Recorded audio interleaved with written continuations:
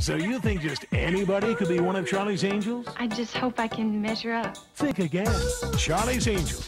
Weekday mornings at 10 on WGN.